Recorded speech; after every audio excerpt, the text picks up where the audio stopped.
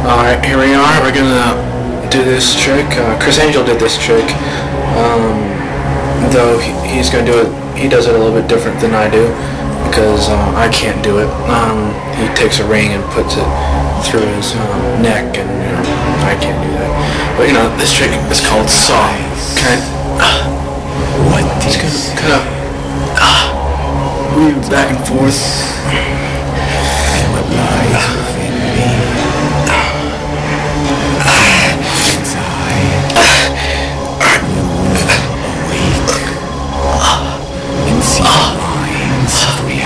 See that? You see it went in a little bit. Alright. Alright. Watch. Watch. Ah. Alright. Watch. Watch. You can see it.